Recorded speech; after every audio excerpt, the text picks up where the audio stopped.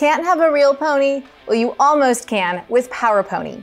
Powered by a patent pending Zume engine, this toy pony is iOS connected, interactive, and a lot of fun to ride. I'll show you how right after you click that subscribe button. Simply place your feet on the Zume engine foot pads and use your foot pressure to steer the pony forward, backward, or turning. The more pressure you apply, the faster you'll go. Power Pony has three preset speeds, trot, gallop, and race, with a maximum speed limit of 6 miles per hour. You can set the speed and name your pony by downloading the free Zume iOS app. By tapping the horse on the neck or the Smile logo on its backside, you'll activate lights and realistic sounds as you ride. Two AA batteries are included for that. If you want to spin, put pressure on the front of one foot pad and pressure on the back of the other.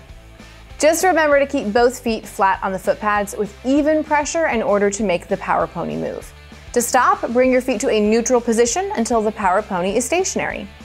Power Pony comes in four styles, including Princess, a pink unicorn, and Hero, the black horse that Power Pony inventor Mia is riding. Which style do you like best? Tell me in the comments. Each one features super soft fur with a saddle seat and harness. There's a 150 pound weight limit and is for kids of all ages, mostly around 6 and up, and adults. Though the instructions do say that Power Pony is not for children under 8 or heavier than 120 pounds. Kids should always wear shoes and a helmet when riding. Power Pony runs on a rechargeable battery that takes about 4 hours to charge the first time. Adult assembly is also required and takes about 10 to 15 minutes to do. The adults in the TTPM office had a blast riding Power Pony, and we just know that kids will think this pony ride on is super cool.